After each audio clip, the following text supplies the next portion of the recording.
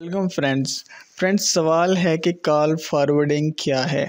सबसे पहले मैं आपको बिल्कुल आसान से अल्फाज में समझा देता हूँ कि कॉल फॉरवर्डिंग क्या है। उसके बाद फिर जो फार्म फार्मल वे होता है कि टेक्निकल जो ये टर्म्स होती हैं, वो टेक्निकल तरीके से भी उनको हम डिफ़ाइन कर करता, करना पड़ता है और मैं इस वीडियो में करूँगा भी।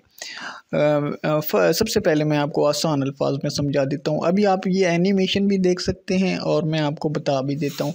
देखिए फ्रेंड्स जब भी आपने किसी कॉल को फॉरवर्ड करना हो मतलब कोई बंदा आपको कॉल करता है तो वो उसको आपका, वो आपको, आपके मोबाइल से होकर आगे फॉरवर्ड हो जाए। मतलब ये कॉल फॉरवर्डिंग होती है, एक तरह की ये सर्विस होती है किसी भी नेटवर्क पर। मैं रिपीट कर रहा हूँ कि जब कोई आपको कॉल करेगा तो वो कॉल आपके मोबाइल से होती हुई फिर आगे चली जाएगी, जहाँ पर आपने उसको फॉरवर्ड किया होगा।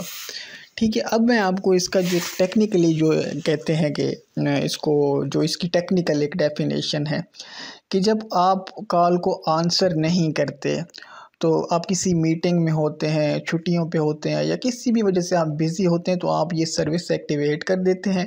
तो आपकी जितनी भी कॉल्स होती हैं, वो तो या तो वॉइस मेल सर्वर पर फॉरवर्ड हो जाती हैं या फिर वो जो भी नंबर आपने अल्टरनेट उसमें नंबर जो दिया हुआ होता है, उस पर वो फारवर्ड हो जाती हैं।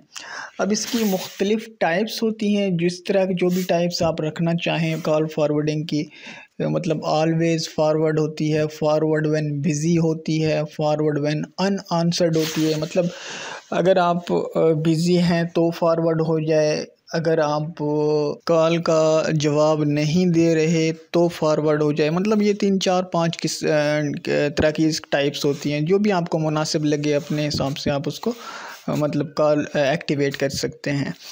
तो फ्रेंड्स ये होपफुली ये छोटी सी वीडियो आप लोगों के लिए इन्फॉर्मेटिव होगी। मेरी आप लोगों से एंड पर छोटी सी रिक्वेस्ट है कि काइंडली अगर आपने चैनल सब्सक्राइब नहीं किया तो चैनल सब्सक्राइब कर लें। मैं आपके साथ इसी तरह की इन्फॉर्मेटिव वीडियोस जो हैं, वो शेयर करता रहूँगा time to time so thanks for watching अल्लाह हाफिज़